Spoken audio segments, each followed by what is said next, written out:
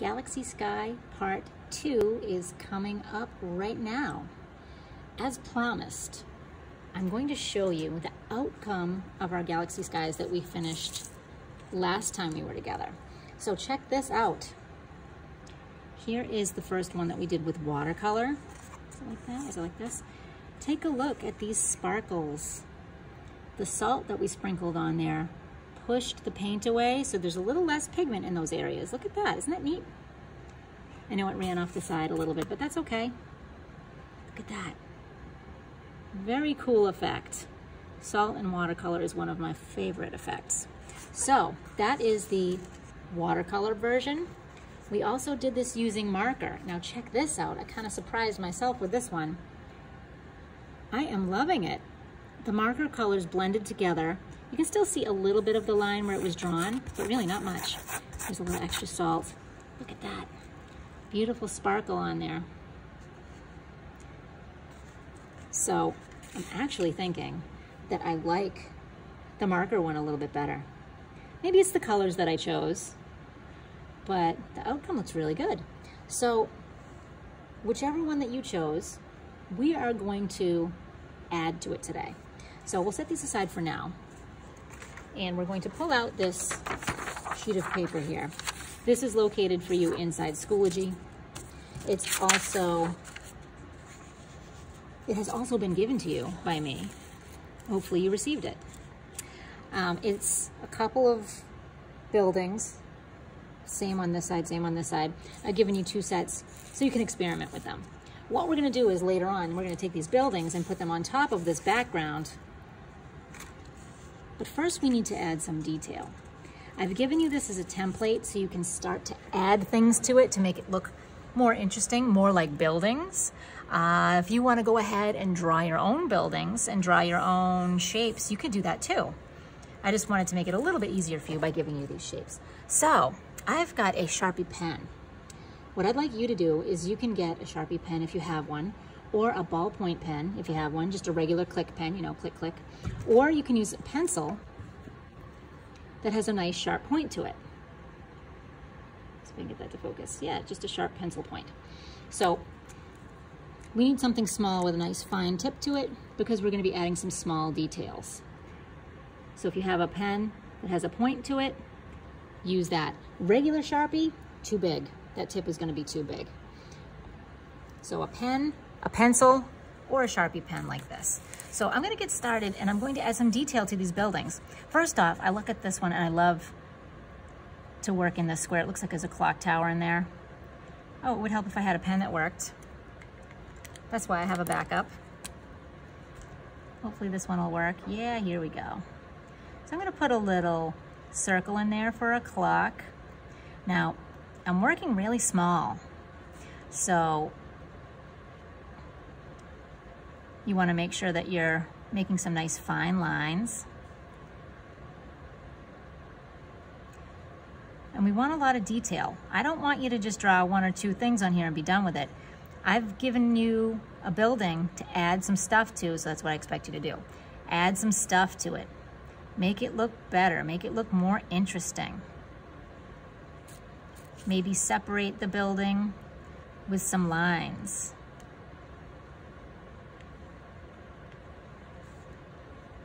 Maybe inside those lines we could make some windows. Down below, a set of doors. What does a building have? Some buildings have awnings on top of them in front of the doorways. So maybe you could make a little awning. A row of windows, tiny squares. These don't have to be perfect. I'm not using a ruler. Believe me, these are not perfect windows, right? So I'm just gonna make a little row of these just to fill it up with something, to make it mine. Because this isn't mine. It actually is because I drew it, but you make this yours. What can you put on this to make it yours? Maybe we can make this look like the Prudential building in Boston. That's what I kind of think of when I look at this one. But what does that look like? I really don't remember. Maybe a set of windows here. Here's another way to make windows. You can make some lines like this going across. I'll make sure I have room for my door down below. maybe a window on the side. So I'm going across with some vertical lines, sorry, horizontal. And now I'll do my verticals like this. So this is one way to make windows. Do something different for each building though. Try and make it look different. How about this little guy here? Maybe I'll put a tiny little roof on it. You can add to it too. You don't have to use the shape that's already there. I'll make this look like a little house. You don't have to do what I'm doing to your buildings. If you have a different idea, do that idea. There's just some bushes in front. How about this one? This one might have some long, long lights. I want you to make at least five buildings. So I know there's a ton more than five here, right? There's a lot more than five. But I want you to make at least five. There's extra, so if you mess up, or if there's one that you don't like, you can always do a different one.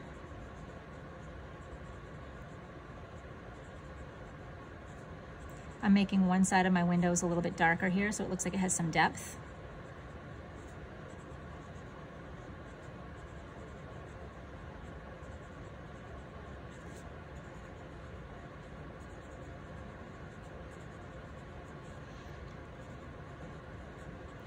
You can think of. What else does buildings have? Let's see, I need one more. One more building. Maybe I'll take this little one that's attached here and I will, you know what I'll do? I'm just gonna make a series of tiny little marks. These are gonna be the lights off in the building, just tiny windows. You could even make a sign on the front. Pizza.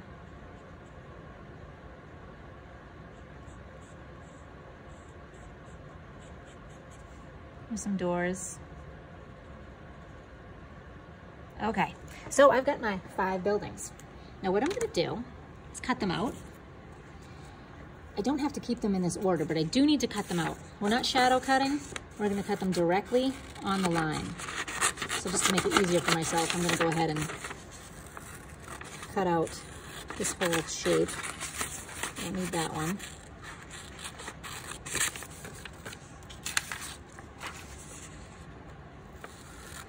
So I want to cut them out so there's space in between them. I don't want to leave any white space in between them. So that means I have to cut in between each building.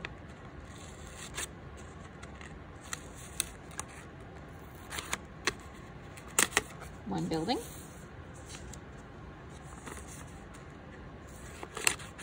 Be careful cutting around these edges. You did such a nice job with the drawing. Spend as much time and care when you're cutting. So cut around these edges nice and neatly.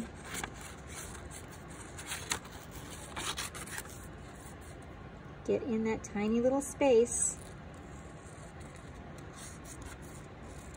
Okay, building number two.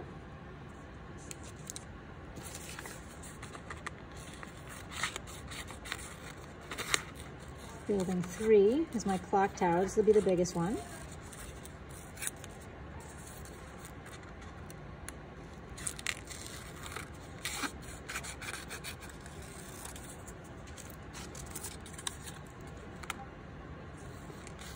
Four.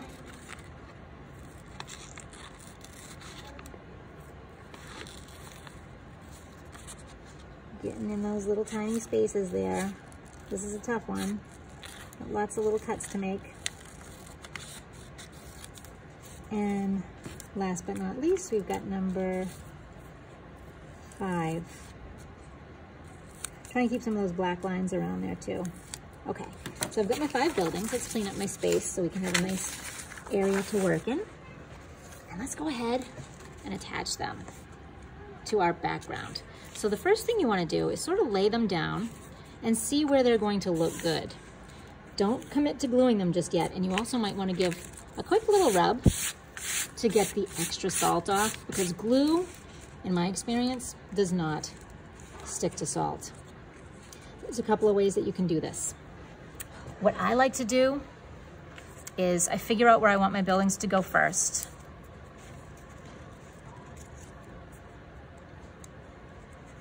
Maybe like this.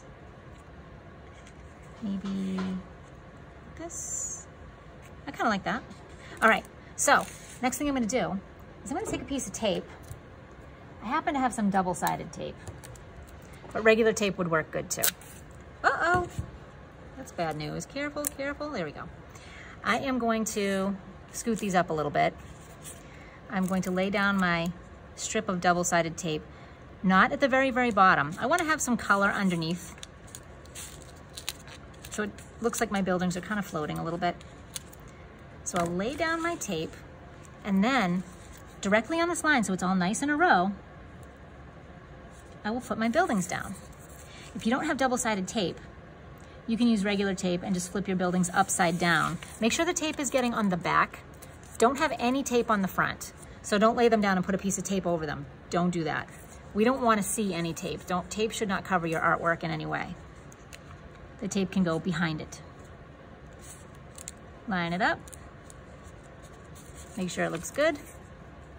Might mix it up a little bit. Some of your buildings can touch, it's up to you. Once you have all of your buildings down, we gotta do something about this, little flaps, right?